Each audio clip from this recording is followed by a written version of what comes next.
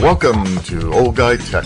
The OGT.TV recording studio. Technology for the rest of us. Hi, I'm Rob Charney, Old Guy Tech TV. I'm here today with Sheriff John D'Agostini of El Dorado County, and we're just going to kind of talk about what's going on and how things have been for John since he's taken over as sheriff. And uh, I think he's got some exciting things to tell us. So we're going to really look forward to this. And John, thank you very much for coming. I really appreciate it. Thank you, Rob. Yeah, great, great. So why don't you just tell us how's it been? I mean, how's it feel now? It's uh, you know, it's one year now, right at one year. January third will be one year since I was sworn in. Things are great. Um, you know, I was I was just saying a little bit ago that uh, you know a lot of had a lot of folks ask me, "Oh my gosh, does, was it all you you thought it would be?" And it's been um, everything and more. I, I expected everything I was getting into. I knew what I was getting into, and uh, it's been fantastic. We've done already a lot of good things, a lot of changes taking place. Um, change is tough, especially for law enforcement, because uh, it's it's new. Right. Um, right. You know, we tend to get settled into and like our our things a certain way. Um, but for the most part, it's been going fantastic. Um, you know, the budget uh, obviously is the biggest thing facing anybody throughout the whole state involved in government and private sector. Right. Um, but we're, uh, we're we're getting through it. We're doing good. We took them the the, the huge cuts uh, uh, last budget go around. We're on target this year to, to come in under budget. Um, we expect to stay on that trend um, and looking forward to whatever the board gives us as Yeah. a target next year. Your Hopefully, fight. we hope we hope. be, I thought I'd never hear myself just pray for a status quo budget, but that's all we can hope for. Sure, Uh, best- absolutely. best, case scenario.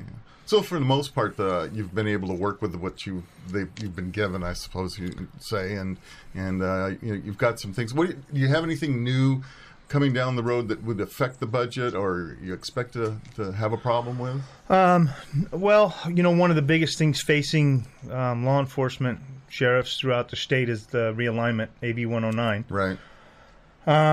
With the money that we're expected to get from the state to uh, work with AB 109, that the Community Corrections Partnership came up with our budget for the um, stakeholders in El Dorado County, um, we'll be we'll be fine. Um, one thing about the realignment uh, issue that we are unique, one of the very few unique counties in the state, is that, to use the term, we have room at the inn. So our um, inmate population, we can handle an increase without having to release, do releases and and uh, put knuckleheads back out How on the street. that? I, I had no idea. Uh, yeah. Yeah, it's a huge issue. I mean, there's, you know, the, the, the state of California, I believe the number is 30 some thousand. They have to reduce population over the next two years. Mm-hmm. They're not doing that by opening the doors and letting people out, they're Right. doing it by uh, um, attrition. Okay. So when somebody paroles now, they don't uh, go to parole. They come to under the control of the county under probation. So probation has that new responsibility. When they reoffend, which statistics show they're going to reoffend, Right. when they reoffend, if it's not a um, if it's a non-serious, non-violent, or non-sex crime, and it falls within those subsections, they will no longer be serving their sentence out in state prison. They'll be sending it out or spending that time in the in the county, County. jail. Right. Sentences up to you name it. Oh, really? Yes. So now where we bef- uh, prior to realignment, we were looking at sentences of one year or less. Right. Now we've had already we've had uh, the last numbers I got were a few weeks ago, and we were already at 4109 um, sentences, um, realignment sentences, um, the most of which being seven years. Wow. So the cumulative effect of that over time is what is going to fill our jail. Right. Right. But right now we're in good shape. We're running an average daily population of anywhere between 350 and 370. Um, and we do have 469 beds between Placerville and South Lake Tahoe. Are you going to have to house these people in different in different blocks? Are you going to put them in with the general population, or It depends. It depends on what the crime is and what they get classified as. Okay, Um, right. But some yes, some no. Um, and that's another issue that you know we faced. Even though I said we had 469 beds in our jail, we could literally be busting at the seams at 370, 380, 390 Uh-huh. because of classification, because you can't Right. house this knucklehead with that knucklehead and Right. that knucklehead with that knucklehead. Yeah, I understand it's a very difficult process that you have to go through. Yeah. And, you know, uh, may it be offense, may it be um, gang affiliation, may it be color, may it be whatever. Absolutely. There's a lot of work that you have to do to make sure that people are in, in kind, so to speak. Is that Yeah, yeah. Yeah. To, to basically pr- protect us from from litigation. uh huh? Litigation. I mean, if I put um, northern gang members in with southern gang members, Right, um, and they ended up killing one another, they'd be pointing the finger at me. right, So we always have to be cognizant of those issues and take classification very seriously. But again, I, I have a very positive outlook on it. Right. We're we're in a pretty good position right now. Um, we're doing everything we can to keep ourselves in that position. Um, my you know uh, my worry is, and this will be the first uh, media place where I've actually said this on the air, but um, uh, before the the governor through um, the whole realignment process promised California State Sheriff's Association and all the sheriffs in the state, 58 of us, that he would get the constitutional guarantees to um, for our funding to make sure that AB 109 was properly funded or adequately funded. When it came to a point here just in the recent past that time limits were coming up for ballot initiatives Right. and nothing had been done yet, right. um, State Sheriff's Association got together and put together a ballot initiative, which basically just just simply guarantees funding within the general fund for uh, realignment. I think it was three or four days after that the governor came out with his ballot initiative, which also includes funding for schools, which is fine, Right. but it also includes those tax increases that everybody's heard about Right. um, a, a tax on those earning over two hundred fifty thousand dollars a year, and I think it's a quarter cent sales tax for four years or five years whenever Yeah. that sunsets. Yeah. yeah. If it's My sunsets. my fear is, and I I don't support a tax increase. I Right. think that our state should be um, should uh, be responsible and prioritize the taxpayers' dollars what they have now. Private sector has to do that. Um, so I don't think a tax increase is going to fly. And when it's all said and done, and it doesn't pass, the governor stands back and says, "I did my best." Mm-hmm. And we're sitting where we are now with no funding for realignment, which is what I said from day one was eventually this money's going to roll out. Probations can ha- can walk away and say "Uh, the funding's not there. I can't do these programs. The DA can walk away. The public defender, everybody in this in this operation for realignment can step back and say the money's not there. We can't do it. Right. But I still got to house them. You still have to do it. I'm still going to be Yeah. stuck with them. Yeah, yeah. Well,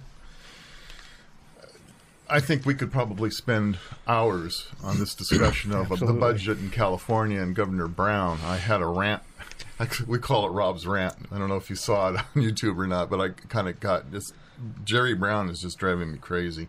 And I won't even get into the gun issues that you know where I stand Oh, on. absolutely. And uh, which are just the, the Much in line with mine. Oh, yeah, absolutely. and this guy is just, he's out of his mind. He's never seen an anti gun bill he doesn't like. And uh, so we're going to face a lot. But that's another issue for another time. Um, so. So, so we've got the ba- uh, the budget going. You're you're going good. You're staying on the budget. How uh, how's the uh, the number on the deputies doing? How you doing? Are you losing deputies? Are you going to be able to hold the number at where it has been? Or how's that part going? Well, we're actually hiring. Oh, good. Um, we were down a significant amount um, when I took office. Uh, prior administrations just froze hiring. So through attrition, there was many positions that were vacant. Um, I ended up uh, surrendering. I think there was the number. I believe was 24 total positions, including correctional officers, support staff, all kinds of positions right. that I gave up to meet our last budget target. Um, didn't just unfund them, but actually wiped them off the books.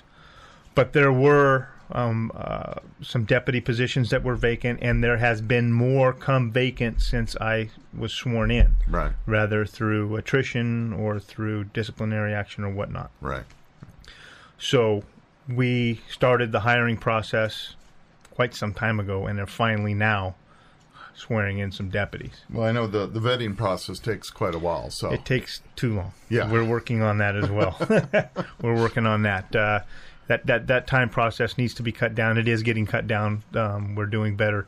The county has a new interim um, human resources director who's Okay. um, we're working very closely with, um, not only for hiring but for promotionals and, and things like that. Uh-huh. Um, with some of the uh, retirements coming up and some of the vacancies that we've had and been holding on to, we actually have some promotions coming up um, for every rank. oh, good. So we're in a, we're in a good spot. Yeah, I mean, I'm yeah. despite all the budget problems and everything else, um, managing it the way that um, uh, with, with my vision and my my what I believe with the three prong approach. Is it vital? Is it, is it necessary? Is it vital, important, or is it just nice? Right. Um, we've been able to uh, really ratchet down on some numbers. We cut overtime significantly in the last year. Um, it's no longer a given that somebody's going to get overtime. It's, Right. it's overtime is exa- uh, when it's necessary, Right, absolutely right. necessary. Yeah.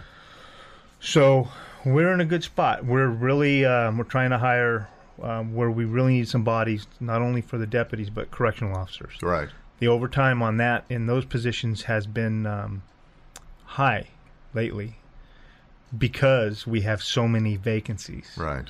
There was a study done back in, I think it was 01 or 02, that uh, the the jail was, I believe, 19. It showed if 19 correctional officers more uh, more positions in the jail, um, it would significantly reduce overtime, and uh, um, have the relief factor at a point. Yeah, there's there's yeah. a balance there where Right, you have right. so many folks and the overtime goes through the roof. There there comes Yeah. a balance when you have position wise.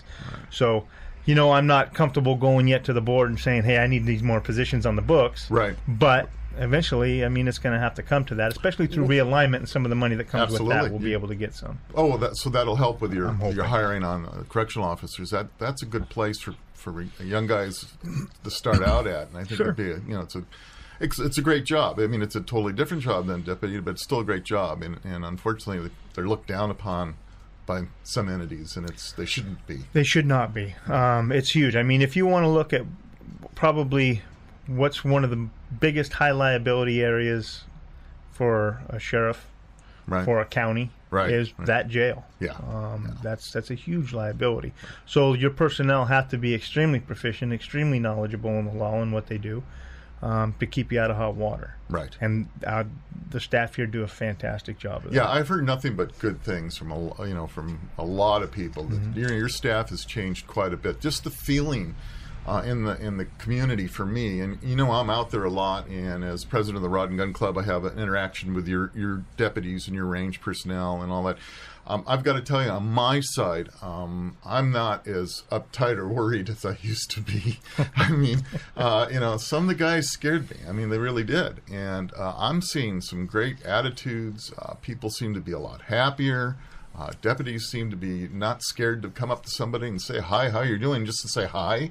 You know, uh, you know, no, I didn't do anything honest. Instead of that Yeah. kind of panic. So you guys are doing good, That's good. Well, that's good to hear. You know, that's the culture change that I'm looking for. right? Um, I know, you know, culture change, any change takes time, um, but it's going there. The ship's, I say, the ship's starting to turn. It's it's going, starting to get in the direction I want to take it, um, and I'm very very pleased. And I hear that a lot too from community members. And you know, sometimes I wonder if that's just the people telling me what I want to hear. But Yeah, when I right. hear it, it you know that that that's good feedback. Yeah. That's good feedback, and that's that's what I want to see. Yeah, yeah, absolutely. That's that's great. So, what's on the horizon now? What are we looking at uh, coming down the next few years? That your goal? Well, the next few years, um, obviously, I- you know, I, I talked about the resident deputy programs, Right. and we took a huge step towards that here a few months ago when we changed the schedule. It was in in the Mountain Democrat in the newspaper, um, going to the uh, twelve-hour shifts. Mm-hmm.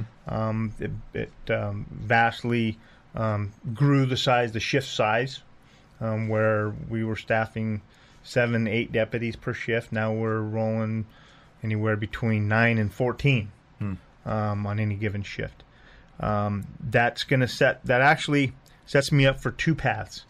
Um, if the budget stays okay, Um, I said status quo. If we can stay status quo and not have to take any more cuts, then I feel comfortable starting to set up those resident deputy positions in key parts of the county. Right.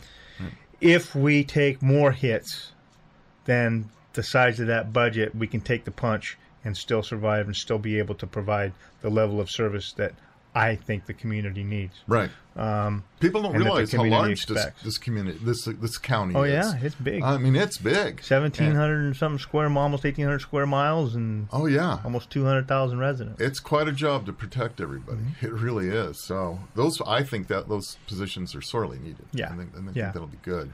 So if we can, that's that's one of the, my goals. That's still there. Mm-hmm. We will, I will have that happen in my administration. Um, hopefully in the next couple years. Uh, community um, community meetings.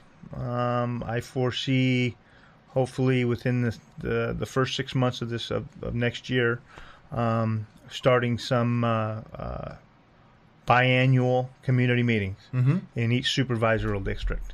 So 10 meetings a year in, in each of the districts. Um, and just a, an opportunity to to get in front of the community in a public forum type and listen Right. And listen. Right, Give absolutely. A, give a real quick overview on where we're at, how things are on the budget, on um, crime, and then start getting some feedback. Well, that's one of the reasons we wanted you here so badly is because we feel, I mean, we get out to everybody. and basically, we get out to the world. But anybody 24 7 is going to be able to hear your message. So as you come here more often, you'll be able to get those messages out that you want to get out so that the public know about it. I think it's really important. One of the problems I've always seen with law enforcement, is there seems to be such a, a, a wide gap between what people think and what is real. And, it's Because the communication's not there. that's right. Exactly. Exactly. You're So- absolutely right. And and it, it law enforcement in general throughout this nation has gone down that path Hmm. and and created that environment and created that that uh, um, relationship. Yeah. And that's why I during my campaign I talked about um, a modern approach to traditional law enforcement. Right. Right. um, yep. That that type, and then my total policing philosophy, which Right. was total care for victims, witnesses in the community, total enforcement on crime and criminals, and total professionalism. And I preach that all the time in the office when I go to a briefing or I'm. Um, just recently, because we're hiring now, I sat down with my field training officers and we had a roundtable, and I let them know this is what I expect. This is how I want the new guys trained. I, I, I preach that. Right. This is the philosophy. Don't forget it. Right. You know. Yeah. Um, and they most I I I believe that most of them believe that too, and that's it's helping it happen early, Mm-hmm. earlier and easier. Where I'm sure you know, I'm sure there's a few that are saying, "Oh, the old man's kind of that guy's nuts," but. Um, you know, I'm I'm going to be around for a while, and I think I'm going to That's outlast good. them. That's So- good. Well, I hear it all the time. That's how I became the old guy. You know, I heard that all the time. So, how long now have you been sheriff? Almost a year. January third will year. be one year. How about that? Time, time just It does. boy, it fleets by. It does. Yeah, well, that that's that's terrific. So, so we've covered kind of the budget and we've covered the hiring uh, Mm-hmm. situation. Now, what else is is on your priority list that we we might want to know about? Um, building my team. Yeah. um, in these promotions that we have coming up. Um, it's going to give me a huge opportunity to uh, start building my team. Um, you know, it's it's I inherited an administration. Um, I inherited captains and lieutenants and sergeants, and um, many of which are fantastic. They're doing a great job, um, and I I've worked well with them. They've worked well with me, um, but they weren't that's not my team Right. and this is going to give me the opportunity to really start building my team. Yeah. And I'm really looking forward to that. Um, uh, I'd like to think that a lot of uh, employees there are seeing it as a positive thing as well. Mhm. Um, and it's a it's a really really good time right now. It's it's it's fun time. I would I actually I don't think there's much apprehension in the troops. I would I would I would tend to see a little bit more than I'm seeing, um, just because it's new Right. but I think that things are going extremely well. They feel good. Um, you know, I don't think that I'm just living in a vacuum. I think I'm trying to do as much as I can to get the real information on what's happening. Um, you know, for the first time ever, we put out a department-wide survey Um, it's never been done. Uh, we the feedback that we got from that, we're actually doing a lot of movement on and making some things happen. One of the biggest things was the schedule change. Uh, most of the uh, employees, most of the deputies and the line staff wanted this type of schedule, so we made it happen. Um, there's other issues with take-home vehicles that we're looking at those issues to see if we can save some money. Actually, when you get the the the uh, down to brass tacks and you get the numbers together, Right. Um, the cost to benefit, in my opinion, for a lot of them, there's a few. that, Yeah, we're not going to have anymore. We're going to take get rid of some take-home vehicles. Right. Um, but for the most part, the cost to benefit, as far as I'm concerned, of having some of these take-home vehicles uh, out there, Yeah. um, I think that is the numbers aren't that significant. I- think at this point it's important. I mean, we talked about the size of this county, and that is just going to help the response times to have those those guys available basically twenty four seven. Um, you know, I know that some of the conservative guys don't agree with me necessarily, and I'm pretty conservative, but I see a lot of benefits. in- in Yeah, you know, the, there is, there is. You know, there's some, um, there's some, and I don't want to say now because I haven't even noticed anybody yet. Right. But there are some that no, this is just, it's been a perk, and it's a nice perk. Sure. Um, but you're never going to respond from home. You're never going to be making those decisions on the road. Right. So there's really no need for that vehicle to be going home. Very few, though. Very few. But for you know, detectives, um, the narcotics guys, uh, you know, some of some of the lieutenants. Um, one or two of the captains.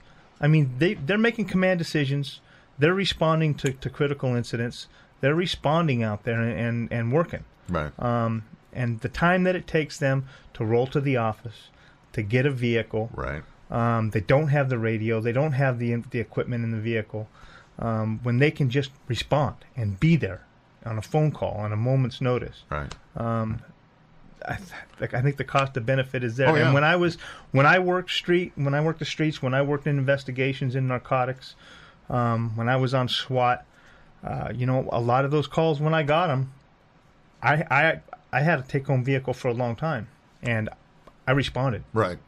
Always responded, and I was one of the first ones there because I was able to do that. Right. So. The cost of benefit, I, I do see it, and I yeah, believe in it. I, think there's both sides to that, and I and I I can I can truly see uh, that that your gut you, you understand exactly what's going on with it, and I I can't fault you at all. I I I'm for it. I, I think it's a good thing. Like I said, I you know, I know some of the others have knocked me a little bit with that favorite, Yeah. but the heck with it. I don't care. I think I think it's important because they, they they can't forget how large El Dorado County is, and and you know there's so many areas out there that it takes so long to respond to mm-hmm. that if that response time can be increased at all, that's the benefit. I mean, you know, what is what is the sheriff's department supposed to be for the public? I mean, you know, you're supposed to be there to serve and, and protect. You can't do that if, Mm-hmm. Yeah. you, if your response time's 30 minutes, 45 Right. minutes, whatever. Right. It's not going to happen. and if and I, I guarantee you know and I and I, I I I understand and I listen to what what those that say you know it should all be ta- there should be no take home Right. rides I get that however I mean if you had a family member that was in crisis the victim of a violent crime or or something of that nature God forbid it took my deputies another five minutes or ten minutes or in the Right. case of take home vehicles another half hour an hour to get there right. you'd feel differently Yep. You would. you would feel differently Yeah, you would. Absolutely. Absolutely. You're doing really good. Well, we're, we're winding down in time here, and I, I, I want you to get those messages that you think is real important right now to get out. And like I said, we'll get you back in after right after the first of the year and you know get you to, to talk a little bit more about some other issues. But right now, what are do you think is the critical issues that you're facing and the message that you want to get out? Well, you know, again, it's, I'm still working hard, and the deputies, a lot of them are working hard, and I'm I'm I'm very still focused on that total policing concept and that uh, that culture that still needs work in the sheriff's office. Will always need to be worked on, but from the community standpoint, for the community to to understand that, to wave at my deputies, um, force that hand, Right. make them wave back, Right. Right. um, you know, say hi, introduce yourself. Um, it works both ways. Um, we're not, uh, you know, the deputies aren't. Uh, um, I don't want them to be by nature standoffish, and they don't want to be that way.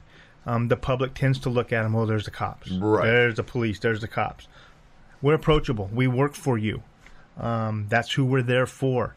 Um, say hi. Um, you know the budget. Uh, I think I, I, I want to believe that this board of supervisors understands the prioritizing that needs to be done with the taxpayers' dollars.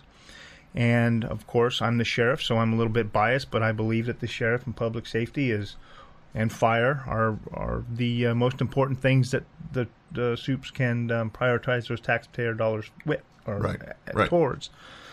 Um, you know, talk to your elected officials, talk to your supervisors. I expect to be held accountable. I expect to be held accountable by the people that put me in office. And, you know, the board of supervisors, they're elected officials as well. Right. Hold them accountable. If you feel the same way, let them know. Let them know that. Um, you know, there's there's one other thing too that I've been bringing up little pieces here and there. It's a big issue. Um, I I don't want to make a big issue of it now, but I'll, I'll lay it out there. Times are tough. I understand that. But one thing that I have identified in the year since I've been there is the inefficiencies in the sheriff's office that are caused just by geographics. Meaning, our office is spread out. The sheriff's office is over 40 years old. I have investigations on one end of town. Right. I have support services on another end of town.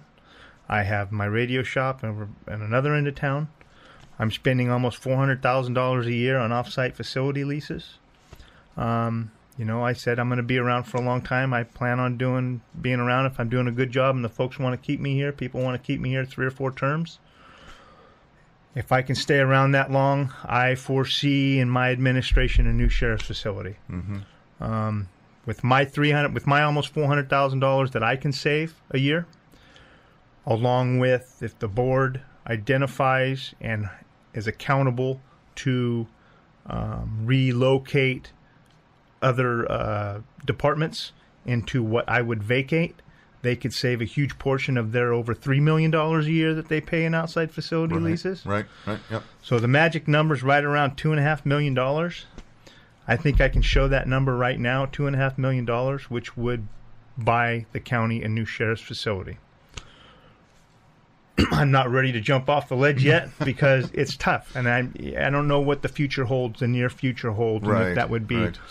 Well, I see the struggles that you choice. have with your with your logistics. Uh, you know, just coming in, you know, uh, doing my concealed weapons permit stuff, and and coming in and visiting or saying hi, whatever. I, I know that you're facing these issues with all these people Oh. spread out. It's very difficult. Yeah, it's huge, and not not only for log- logistics, but the the true reason why we exist is to prevent crime Right. and solve crime, and the inefficiencies in having investigations on one end of town and patrol at the main office. They don't talk to one another as often as they could. It's amazing how many crimes actually get solved over the water cooler Right. to, to use a term, you know, Sure. or in the hallway because there's just that communication. Um, another unexpected uh, benefit that Placer County assumed or or, or re, uh, realized when they built their new facility was um, workers' comp claims and sick leave went through the floor Huh. because it was just much nicer place to come to. I have personnel working in the old jail where I can't even house criminals because under Title 15 and Title 24, it's not Yep. good enough for them. Yeah. But I got personnel working in there. I know. And they don't mind. Yeah, they're they're doing what they have to, but it, it's kind of a cave in there. I've been Yeah. in there. Oh, you yeah. yeah. So someday, someday, Yeah. it's just you know, f- uh, the community can keep that in the back of their mind that uh, if they have any ideas on on location or ways to save money to get a new facility sometime in the future, I'm always listening. That's great. That's great. Well, John, this has been super. You know what? There's so much more that we, we want to get out and do with you.